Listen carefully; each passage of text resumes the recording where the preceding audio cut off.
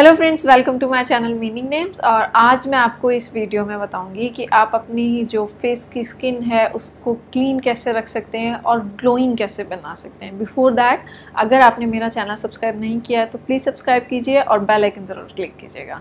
So let's get started ज़्यादातर लोगों की प्रॉब्लम होती है कि वो बहुत सारे मेथड्स यूज़ करते हैं। बहुत सारी जगह उन्होंने लोगों से भी पूछा है या फिर वीडियोज़ भी देखे हैं तो सबका ये कंसर्न रहता है कि फेस पे बहुत सारे पिंपल्स हो गए हैं या एक्नेज हो गई हैं तो उन सबको आप कैसे रिमूव कर सकते हो? और अपनी फेस की जो स्किन है, उसको आप ब्राइट और ग्लोइंग कैसे कर सकते हो?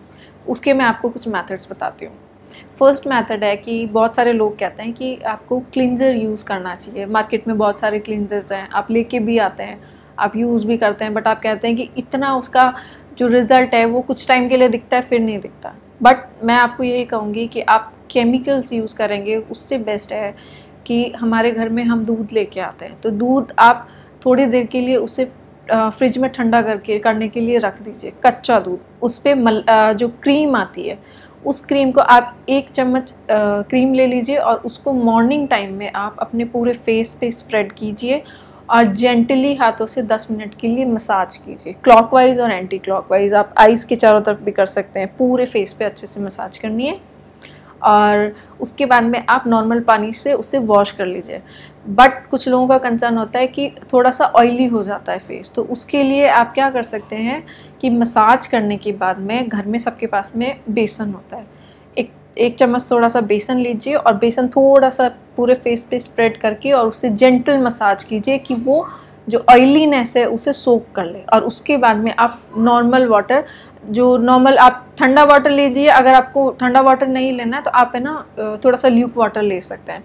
वो आप लीजिए और पूरे फेस को आप वॉश कर लीजिए मॉर्निंग टाइम में। इसके अलावा, जब आप नहाने जाते हैं तो आप लोग फेस वॉश तो यूज़ करते ही होंगे।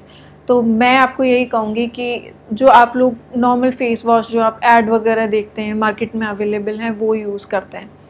तो उनमें क्या होता है कि वो आपकी स्किन क्लीन करने को हेल्प करते हैं बट आपकी जो फेस की अनइवन टोन जो होती है लाइक ये एरियाज़ होते हैं, इधर का एरियाज़ होता है वो एरियाज़ को वो आपको अनइवन लगती है। वो बिल्कुल आपके जो फेस का कलर है, वो एक जैसा नहीं लगता है पूरे फेस में। तो उसके लिए आपको कौन सा फेस वॉश यूज़ करना चाहिए जो मैं यूज़ करती हूँ, वो मैं आपको बता सकती हूँ। अगर आप चाहें तो आप ट्राई करके देख सकते हैं और उसके अलावा कोई ऑप्शन हो तो वो आप पे डिपेंड करता है। मैं जो फेस वॉश यूज़ करती हूँ, मैं ये फेस वॉश यूज़ करती हूँ, ये एलोवेरा जेल से बनाया है और प्योरली ऑर्गेनिक है। और इसके जो रिज़ल्ट्स हैं वो बहुत अच्छे हैं। मैं इसे ऑलमोस्ट फाइव ईयर से यूज़ कर रही हूँ और मुझे एक्ने की कोई प्रॉब्लम नहीं है। कोई एक्ने नहीं, कोई पिंपल्स नहीं, किसी भी तरह की कोई प्रॉब्लम नहीं है। तो आप इसे यूज़ करके देख सकते हैं। इसके अलावा आप क्या कर सकते हैं? आपने फेस वॉश यूज़ कर लिया। देन आप जो क्रीम यूज़ करते हैं, जो मार्केट से आप नॉर्मली जो अवेलेबल क्रीम्स हैं, वो लेके आते हैं। तो मैं आपको यही कहूँगी कि उसके अलावा बहुत सारी जैसे आप कभी पार्लर्स वगैरह पे जाते हैं तो वो लोग भी कुछ क्रीम्स रिकमेंड करते हैं। तो हमें डाउट रहता है कि वो अच्छी हैं या नहीं है, उनके रिज़ल्ट्स क्या होंगे? तो वो डाउटफुल रहता है क्योंकि वो रनिंग प्रोडक्ट नहीं है।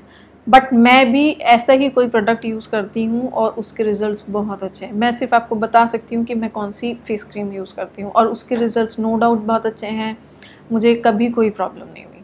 मैं जो फेस क्रीम यूज़ करती हूँ, मैं ये वाला फेस क्रीम यूज़ करती हूँ।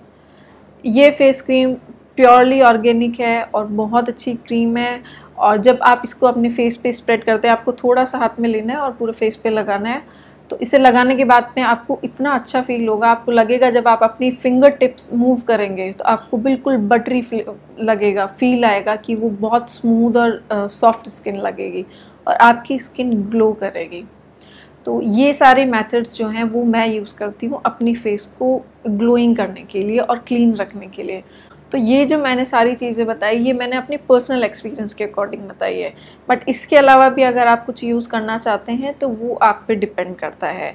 बट मैं सिर्फ़ इतना कह सकती हूँ कि अगर आप ये सारी चीज़ें यूज़ करते हैं तो आपको इसके अलावा कुछ भी यूज़ करने की ज़रूरत नहीं है। तो आई होप कि आपको मेरा ये वीडियो हेल्पफुल लगा होगा। अगर आपको मेरा वीडियो पसंद आया तो प्लीज़ लाइक कीजिए और सब्सक्राइब ज़रूर कीजिएगा। Thank you